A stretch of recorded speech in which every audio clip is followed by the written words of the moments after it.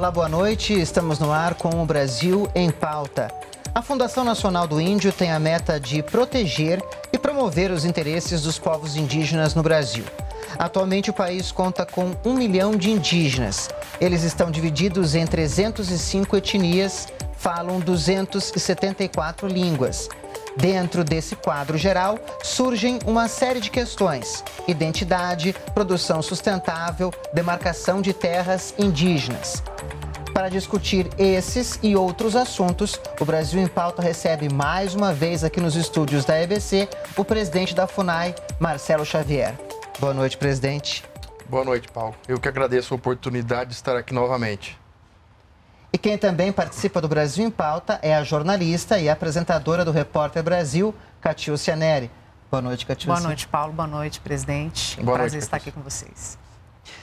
Presidente, eh, o senhor já comentou em algumas entrevistas que à frente da FUNAI o senhor tem algumas metas, alguns objetivos. Uma delas é garantir protagonismo aos indígenas no Brasil.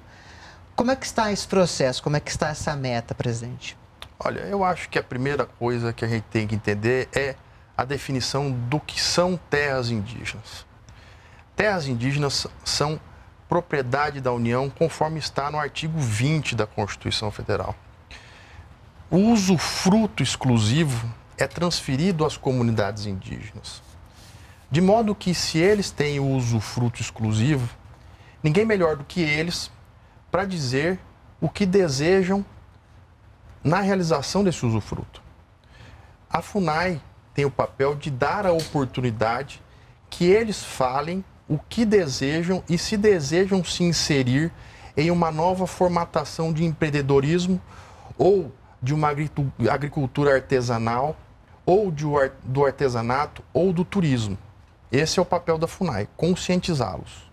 E dentro desse papel da FUNAI, uma das coisas que se fala muito quando se fala em protagonismo é a noção do etnodesenvolvimento. Né? Se não me engano, deixa eu checar aqui, 30 milhões de reais foram investidos nisso nos últimos dois anos. Mas tem gente que ainda não sabe que conceito é esse. Eu queria que o senhor explicasse o que é o etnodesenvolvimento, no que ele consiste e em, em que projetos já estão, como é que ele está indo, está avançando, onde ele já foi aplicado.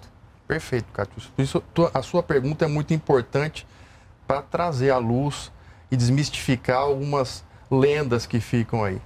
É, a, o etnodesenvolvimento permite que os indígenas possam produzir nas terras indígenas e, com isso, oferir dignidade através da geração de renda.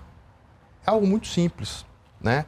Nós temos os exemplos aí dos parecis que produzem grãos, né, em 2% do território e oferem ao ano 20 milhões. Nós temos os exemplos dos potiguaras, que produzem camarão e representam 18% da produção do camarão da Paraíba. Oferem ao ano aproximadamente um milhão e meio de reais. Nós temos o café dos suruís, é um café premiado a, em uma parceria com as três, com a Três Corações, a empresa. Nós temos também é, os chavantes que estão agora produzindo arroz, os bacairis que também estão produzindo arroz, os guaranis em uma nova perspectiva aí de exportar aproximadamente 10 toneladas de erva mate, de modo que há um leque de oportunidades, né? Há também o turismo em terras indígenas que é muito forte, de modo que há muita possibilidade para que os indígenas, em desejando, respeitando-se sempre a autonomia da vontade, os usos, costumes e tradições e as potencialidades das terras indígenas, desejem aí se inserir nessa nova modalidade, nova formatação, que pode ser a solução para levar dignidade para as aldeias. Então, pelo que o senhor está falando, o etnodesenvolvimento já conta com a participação da iniciativa privada em alguns empreendimentos no país, em comunidades indígenas. Exatamente. Há alguns locais aí onde as prefeituras municipais, o Senar, há muitos parceiros envolvidos nisso e que dão a capacitação aos indígenas, o que é fundamental. Porque é só através da capacitação ele pode concorrer em igualdade de condições nesse mercado competitivo. Há três corações, como o senhor citou. Exatamente. É uma parceira. É, até eu queria que o senhor falasse do licenciamento ambiental para essa exploração, mas antes, só para pontuar, porque é para deixar claro, qual é a vantagem? Claro que tem uma vantagem econômica, mas quando a gente pensa em exploração da terra indígena de uma forma diferenciada, com a participação da iniciativa privada, você de alguma forma pensa, puxa, mas será que é isso mesmo que é a vida do indígena? Qual é a vantagem para ele? Isso levando em conta uma exploração sustentável da terra, claro. É, a primeira coisa que a gente tem que ter em mente é que é vedado o arrendamento das terras indígenas essa a, a terra indígena é usufruto exclusivo do índio. É, e veja só, nós estamos falando em produtividade em pequenas porções dos territórios indígenas. Não se fala em grandes explorações né, de atividade econômica. De modo que eu tenho, por exemplo, lá nos Parecis, além de 2% do território de produção da atividade de grãos, há também o desempenho de rafting lá, de turismo ecológico, outras atividades.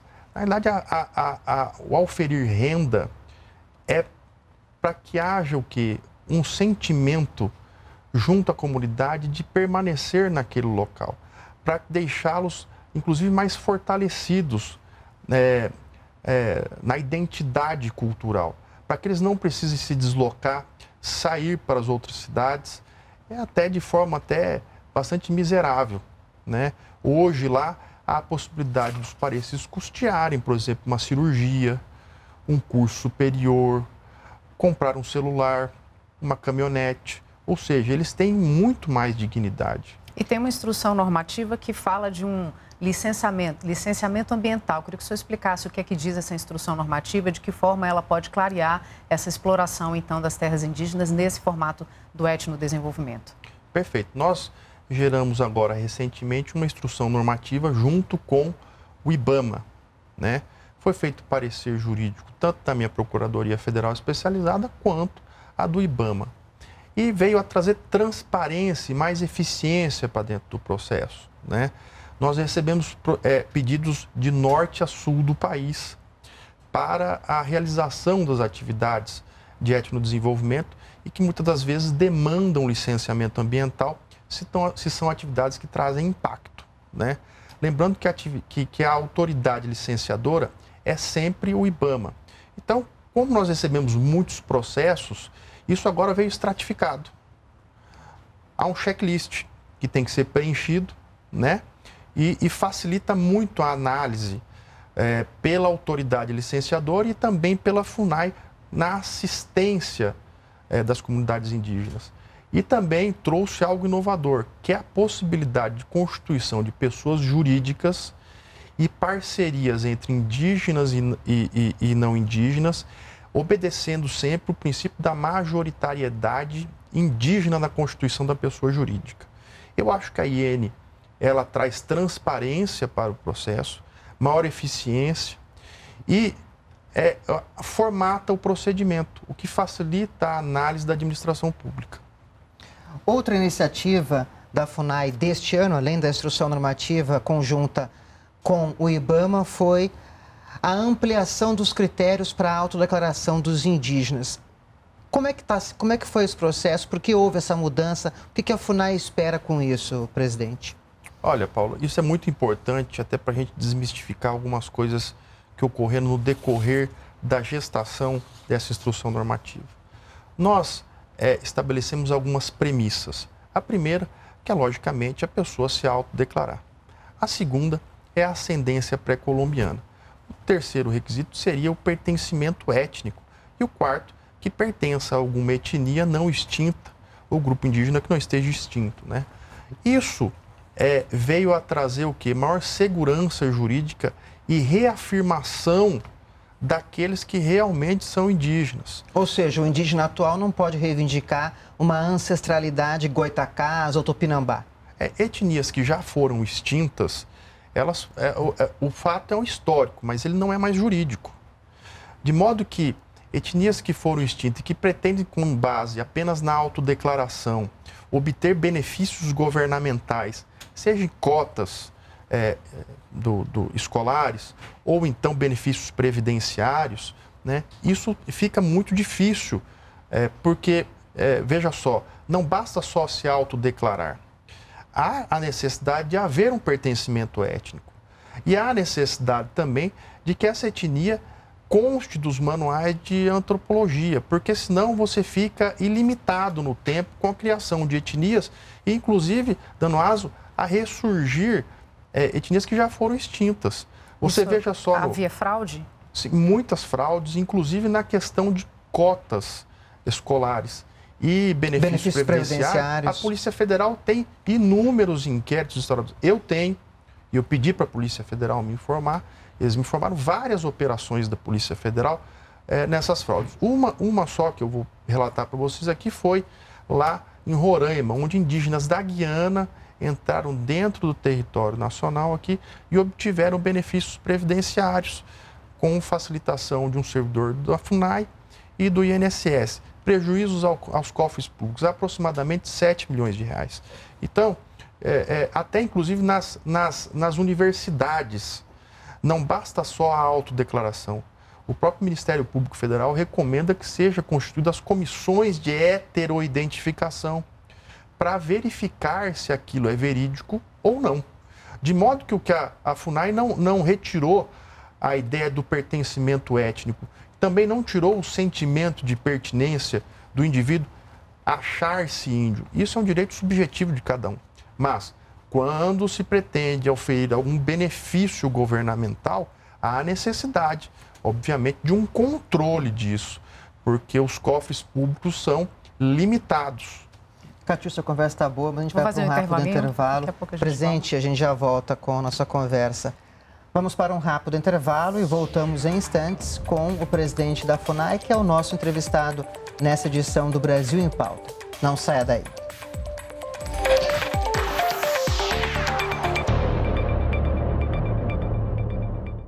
Voltamos com o Brasil em Pauta. O entrevistado do programa de hoje é o presidente da FUNAI, Fundação Nacional do Índio, Marcelo Xavier.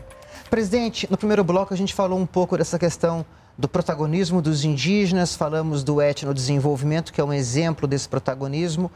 Agora, para encerrar um pouco essa conversa e iniciarmos outros tópicos, esse protagonismo do indígena é mantendo a identidade do indígena? Perfeito, perfeito a gente tem que entender que o indígena não deixa de ser índio por buscar melhores condições de vida ou por buscar um ensino escolar melhor. É, o indígena ele não perde a identidade étnica por buscar mais dignidade, tá? Isso tem que ficar bem claro. Né?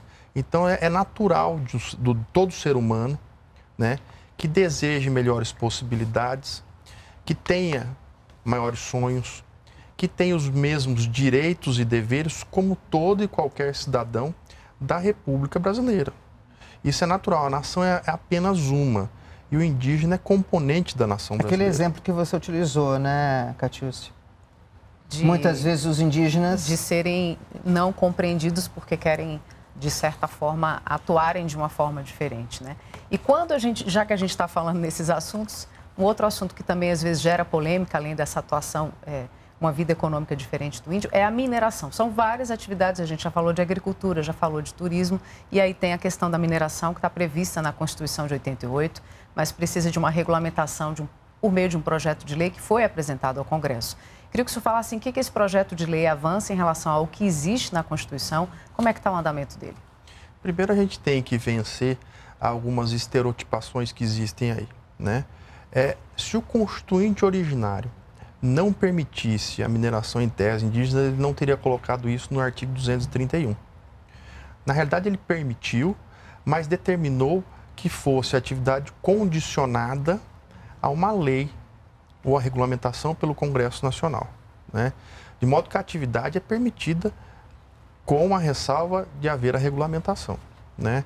É, há necessidade de se ouvir as comunidades indígenas, verificar o que eles desejam realmente. Nós temos uma lista de indígenas na FUNAI que desejam a atividade de mineração. De modo que o executivo, cumprindo inclusive um acordo do TCU, encaminhou o projeto de lei 191 para a Câmara dos Deputados, que é a casa legislativa onde certamente vão ser feitas audiências públicas, discussões nas comissões, e eu acho que a aprovação do PL traz rigidez para o processo, transparência, controle ambiental da atividade. Traz para a legalidade. Órgãos. Exatamente. Uma atividade que muitas vezes Isso. ocorre na ilegalidade Exato. hoje. Exato. E você permite, inclusive, a divisão equânime desses do lucro da atividade dentro das comunidades indígenas, o que é muito importante, né? Não fica não há concentração de renda, você alija o ilícito da atividade, né?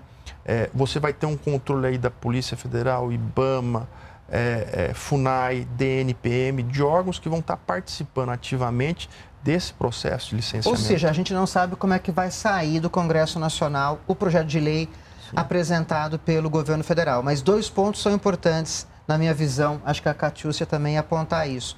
As comunidades elas vão ser consultadas e elas vão ter participações nos lucros na mineração que possa vir a ocorrer naquela comunidade. Isso já está previsto no projeto. Exatamente. É, a, a, a necessidade de oitiva das comunidades e também de participação nos lucros da atividade. Isso está bem claro. Né? Agora, certamente, o PL vai passar pelos trâmites da Casa Legislativa né? e depois seguirá para a sanção presidencial. Lembrando que lá dentro da Casa Legislativa vão ter certamente aí discussões e audiências públicas com convocação de indígenas para também ser ouvidos especialistas da área. Só para né? reforçar mais um ponto aqui, concordo com o Paulo nessas questões que ele colocou, mas um ponto que pega é a questão é, da licença ambiental, da exploração, dos impactos ambientais desse tipo de atividade em terras indígenas. É uma crítica que se faz. Como é que o senhor responde a ela? Eu sei que está previsto no projeto, mas o que, que a gente pode dizer para acalmar as pessoas que estão achando que isso será prejudicial? O que há é o seguinte: toda atividade realizada em terra indígena há um prévio controle rigoroso pelos órgãos ambientais e indígenas. Nada é feito de forma assodada, tudo é feito de forma estudada. Haverão estudos de impacto ambiental, haverá necessidade de licença prévia do empreendimento. O DNPM certamente participará na autorização de pesquisa da lavra. Ou seja, não, as coisas não são feitas de forma assodada e nem para prejudicar os interesses dos indígenas. Muito pelo contrário, é feito para compor o interesse do indígena né, com o desenvolvimento sustentável. Ou seja, a, toda atividade que se pretende dentro de terras indígenas, ela tem que ser feita de forma sustentável, preservando o meio ambiente. Não podemos alijar ou imaginar que os indígenas hoje têm 14% do território nacional com o pior índice de desenvolvimento humano. Alguma coisa está muito errada nesse processo. Então, eu acho que o caminho é o desenvolvimento sustentável, respeitando as regras ambientais que são rigorosas no Brasil. Muito mais do que países europeus e países da América do Norte que criticam muito a questão de mineração em terras indígenas. Acho que uma outra questão interessante que a gente pode trazer aqui para o presidente é uma outra meta que o senhor fala um pouco ali uh, na FUNAI, que seria a pacificação entre as relações dos indígenas com os não indígenas. Essa tentativa e colocação em prática de uma produção sustentável dos indígenas, ela de uma certa forma pelo etnodesenvolvimento, também por essa questão da mineração que possa vir a ser aprovada no Congresso Nacional traz essa pacificação e melhora as relações dos indígenas com o terceiro setor, com os empresários no Brasil, que muitas vezes podem se interessar por esses processos? Certamente, eu acho que essa troca de experiência entre indígenas e não indígenas é salutar para a democracia. Eu acho que é essa convivência conjunta, esse caldeamento de ideias é que faz uma democracia verdadeira. De modo que eu acho que há necessidade de participação mais ativa, protagonismo dos próprios indígenas. Né? O que sempre houve foi a oitiva de intermediários, que não representavam a vontade dos indígenas. Né? Hoje, na FUNAI, eu creio que foi um grande avanço da minha gestão, dar voz direta aos indígenas. Presidente, falando aí de questões jurídicas dessas relações dos indígenas com a sociedade, a gente tem uma questão importante que é a questão das terras indígenas e da demarcação dessas terras. Desde 2019, se não me engano, tem uma, uma nova determinação para essas demarcações. Eu queria que o senhor explicasse o que traz essa norma e em que, que ela avançou e se melhorou essas relações entre os indígenas e a sociedade nessa é, questão? É, nós temos duas situações aí. A primeira é que nós tínhamos lá na PET 3388 a questão do marco temporal. E ali foi fixado um norte administrativo a ser seguido pela administração pública nas questões de demarcação. Né? É, com base na PET 3388, foi feito o parecer da AGU, né? que vinculou a administração pública a seguir aquilo que foi fixado no acordo de plenário do Supremo. Entretanto, uma decisão do ministro Edson Fachin do Supremo suspendeu a, o parecer 01, de modo que o norte a ser seguido pela administração pública ficou um vácuo. Nós não sabemos o que devemos implementar na questão das demarcações indígenas. Inclusive, é, no mês de fevereiro, eu, é, a FUNAI foi objeto de duas reclamações no Supremo para obstar a, a, as demarcações de duas terras indígenas, uma no Paraná e outra na Bahia, é, determinando o Supremo Tribunal Federal, nessas reclamações, determinou a FUNAI que aguardasse a definição do tema 1031, que vai discutir, a, rediscutir a questão da PET 3388 e do parecer vinculante 01 da AGU. Né? Traduzindo, são muitos, muitas normas. A questão do marco é. temporal, é, que é uma questão exatamente. importante. E, e a segunda questão que há é que, para você ver como é que é delicada a situação, o, o procedimento de demarcação de terras indígenas, ele inicia-se com uma reivindicação, depois ele passa por um, pelos estudos, depois ele vem para a fase de delimitação, depois vem uma portaria declaratória, depois vem a homologação por decreto presidencial e, por último, a regularização. Essas fases demoram. Então, muitas das vezes, o que acontecia? Bastava a reivindicação e o sujeito que tinha o direito de propriedade constituído em um título, é, num cartório de registro de imóvel, que é um ato administrativo que tem presunção de legitimidade e veracidade, ele já ficava alijado do direito de propriedade. Ele não podia usar nem fruir do seu direito, porque se, se tivesse alguma atividade ali desenvolvendo, já era tudo embargado.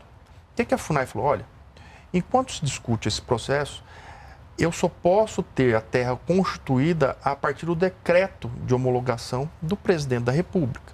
Porque este decreto é o que vai ao cartório de registro de imóvel, onde se constitui uma nova matrícula e é desconstituída as matrículas anteriores.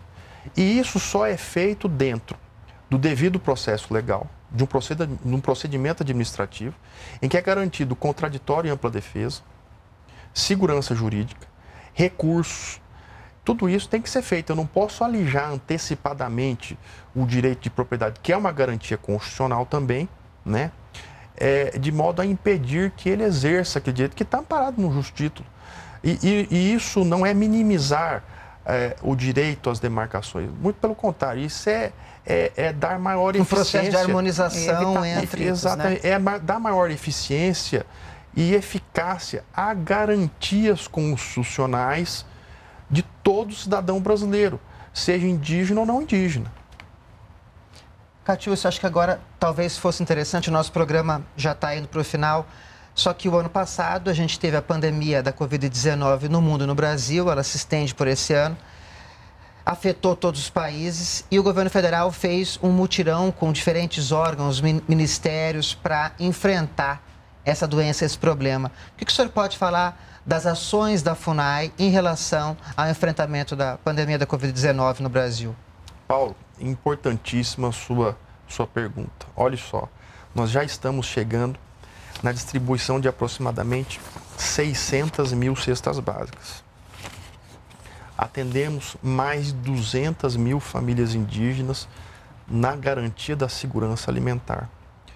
600 mil cestas básicas equivale a aproximadamente 13 mil toneladas de alimento.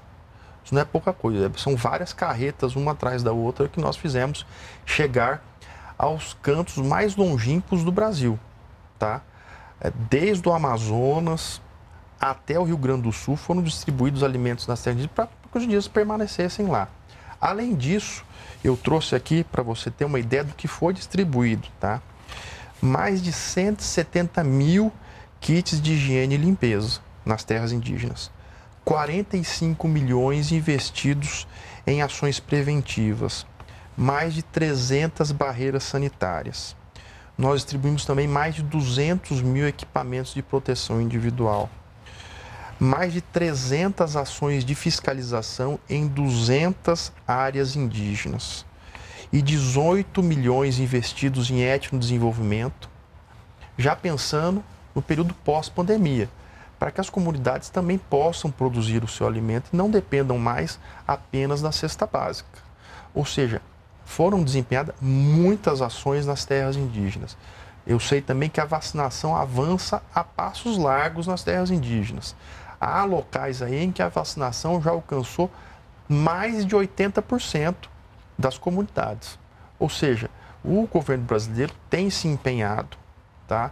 tem feito muito, de modo que há um compromisso da FUNAI em garantir a segurança alimentar e a, a garantia também da, de, para que os indígenas não saiam das aldeias, para conscientizá-los, a proteção territorial através das barreiras sanitárias.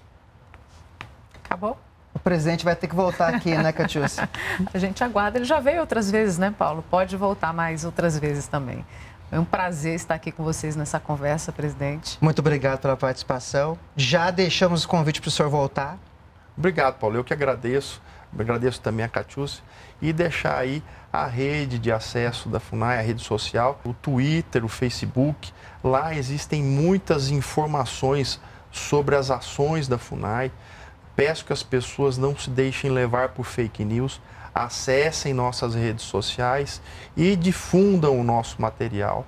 Isso dá transparência ao processo, mostra comprometimento da nossa instituição em salvaguardar os indígenas nesse momento tão delicado da pandemia. Catiúcia, muito Obrigada mais pela uma vez, prazer estar aqui. Obrigada mais uma vez e boa noite a todos que nos acompanharam até aqui. Eu e Catiúcia Neri conversamos hoje com o presidente da FUNAI, Marcelo Xavier. Se você quiser rever esta ou outras entrevistas, é só acompanhar as nossas redes sociais ou baixar o TV Brasil Play. E o Brasil continua em pauta aqui na TV Brasil. Até o próximo programa.